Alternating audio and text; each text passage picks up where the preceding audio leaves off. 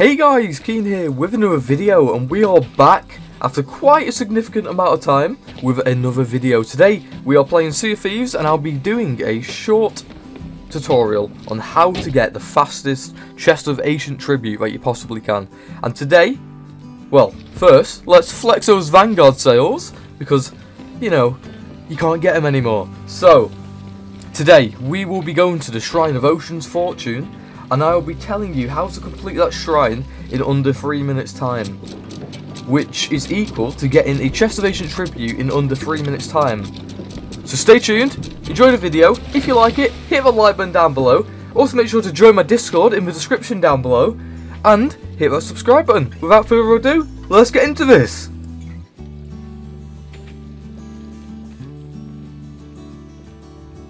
Now that we have arrived at the Shrine of Ocean's Fortune, let's jump into the water and follow this light beam spinning in a circular motion. And then if you keep following this down, you will eventually see the shrine. It will appear right about now. There you go, the shrine has been discovered. Um, so just keep following it down, and the place to go is by following the lights.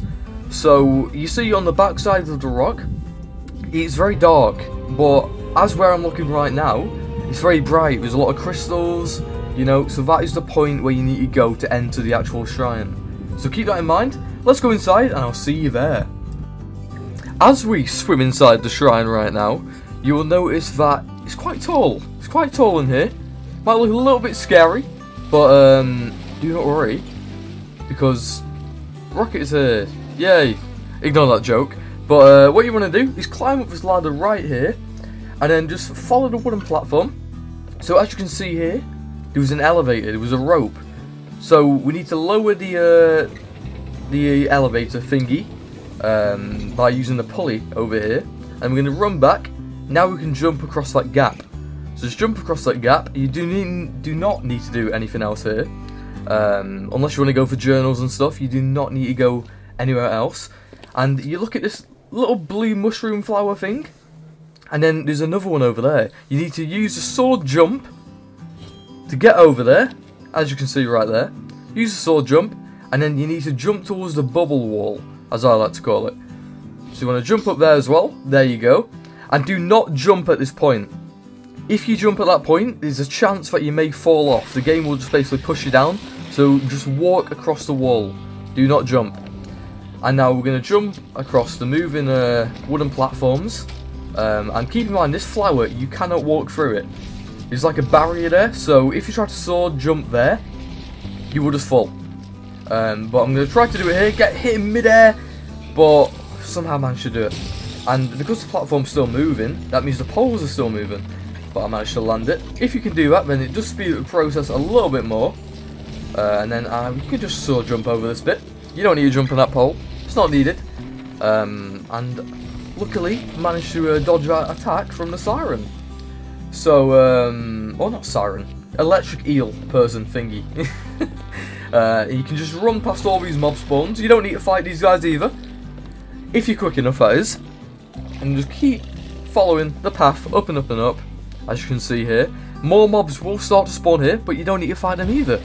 Keep following the path, up and up. And then at this point, you actually don't need to turn the wheel.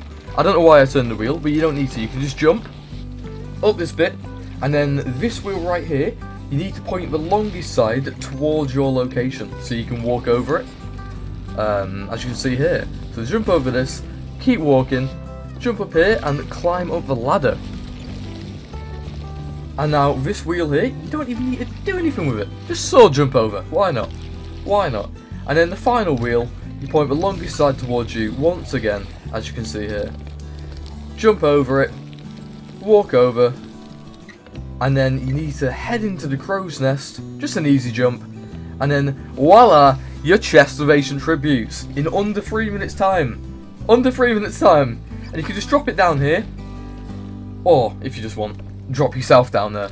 Put it into the mermaid and you are done. There's your free chest of ancient tributes in under three minutes time.